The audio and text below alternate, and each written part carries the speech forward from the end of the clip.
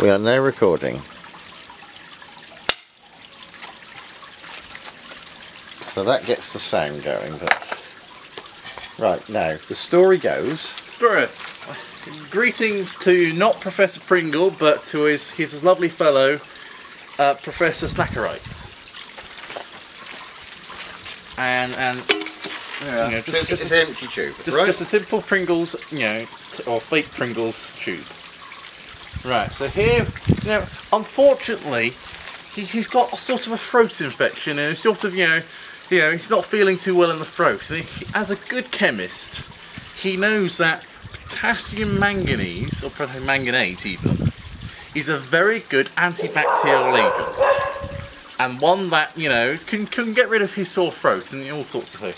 So he's going to have, you know, I, I'm his, you know, lovely, lovely pharmacist. I'm going to prescribe him a little bit of potassium manganate. You know, that's we have, you know, about three scoops, you reckon? Yeah. It should be fairly flat at the bottom. Yeah.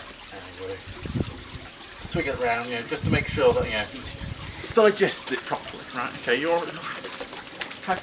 Right, now, but unfortunately, uh, Professor Snackerite, he, he's got sort of, he's a bit constipated, you know, and he feels that a bit of glycerol, you know, will help everything flow through him better. So, you know, just, just going to give him some little bit as a pharmacist, you know, just, just a teeny tiny bit.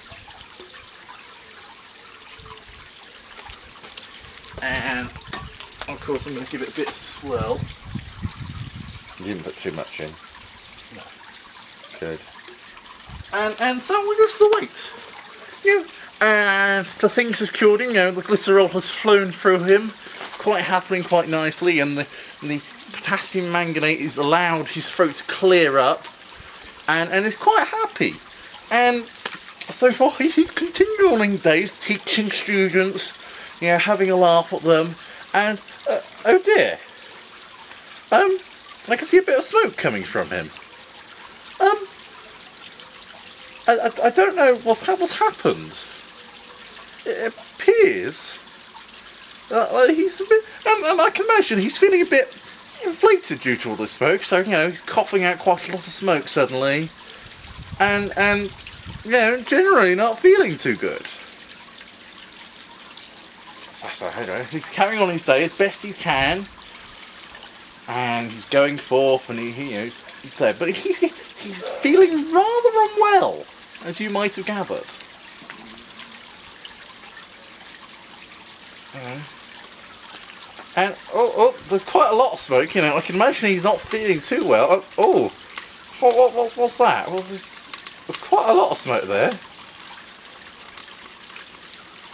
Um, uh, do, do, do you think he should be sent home for this now? Um, that, that's quite a lot of smoke actually. Oh, oh, that's becoming quite black. Oh, oh, oh, I can, I can smell something. Quite, quite. Can you, can you smell that? Oh, it's not very nice, you know.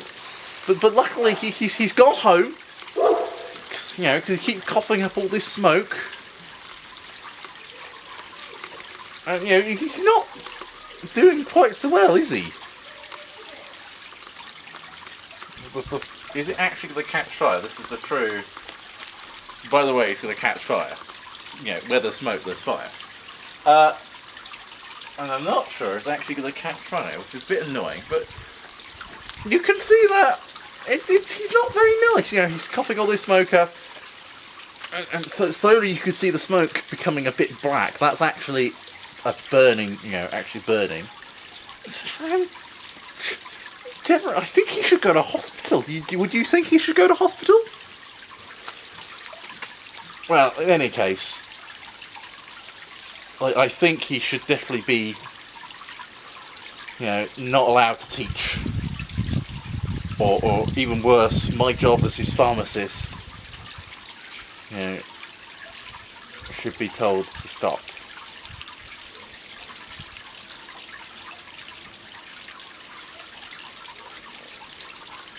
That's quite disappointing he's not going to catch fire. You, can understand how I play, you know. If it's fire, then I'm there. But yeah, no, the, the, these two lovely things, they're, they're actually medicines which people used to take. And I'm quite surprised not so many people happen to have be caught on fire or, or spontaneously combust. Have you heard of spontaneous combustion? That could be one of the reasons when people actually spontaneously human combust.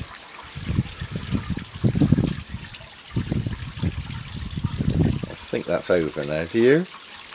Yes. Leave a dot on top.